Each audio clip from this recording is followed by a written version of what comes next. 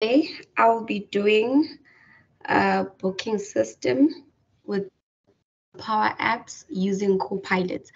So I'm sure everyone is wondering like what is Copilot for the people that who do not know what is Copilot.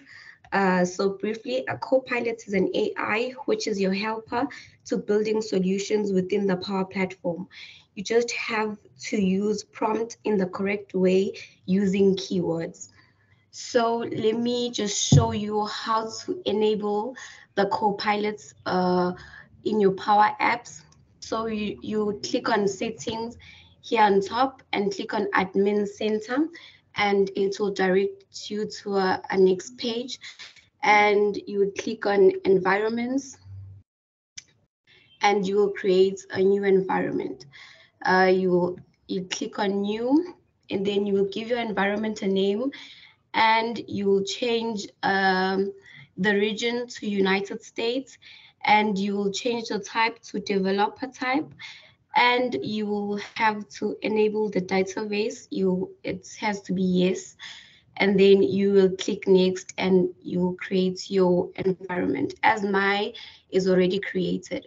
So let's just get to today's uh, work whereby we will be build, building an app using the Copilot, uh, the clinic booking app.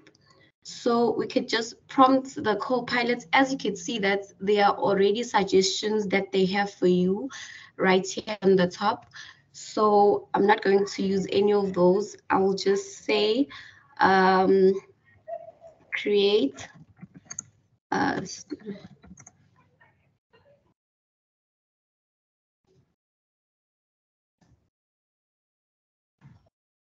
okay. So that's my prompt there. And let's see the table that it's going to, to be given to us. As you can also see here, they also have suggestions for you or like how to improve your table that uh, the, the co-pilots will create for you. Okay, so that's what that's our table that the co-pilot gave us. As you can see, they have the ID, name, age, male, gender, and the address of the students where they reside. So you could also add here, like, since we know that uh, DUT has three campuses and uh, two campuses has clinics. So we will ask the co-pilot to add a table uh, to, to for the students to choose which campus they would like to attend to. So at a table,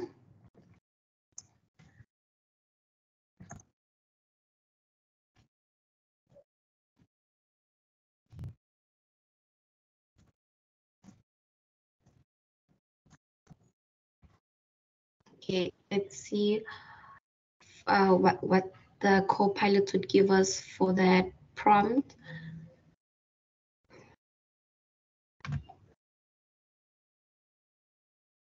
Okay, it says updated and you can see it's given us the campuses and uh, the, the students can now uh, select which campus they, they would like to go to. So you can also remove any of the tables here. Uh, for instance, let's say we would like to remove the type table.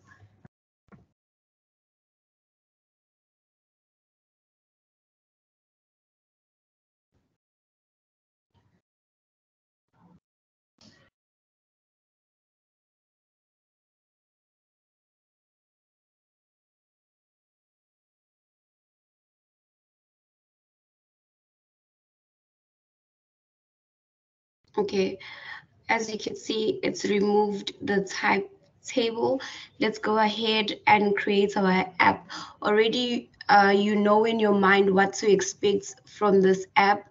Maybe uh, for me, I expect for the gender to, to, to provide me with the drop down for the address to provide me with the text and for campus as well to provide me with the with drop down and to provide me with a calendar for me to pick my dates.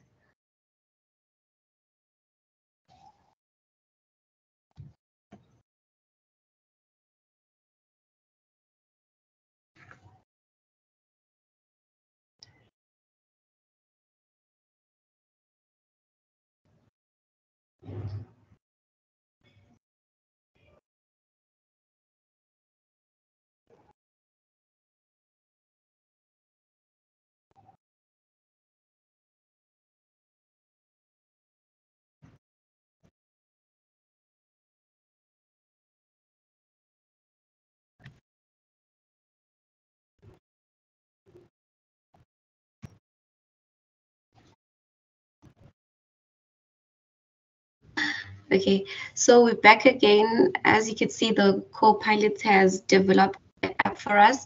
Let's just preview the app. As you can see, um, they've given us the proper app whereby you can edit. Um, as I've said that my expectations are for me to be given a drop down for gender and for the campus as well to be given a drop down and for age to be text as well for address. So you can see uh, the side, you can still continue adding um, using the co-pilots, prompting it to add anything else for you. Um, you can even see here, they like you can add a booking. Uh, if there is a new booking, you can add, if you want to book for the clinic, you can just click here and book. Uh, the app is just fully functional. And the, here's the calendar. Uh, you can just select the dates as well as time. So yeah.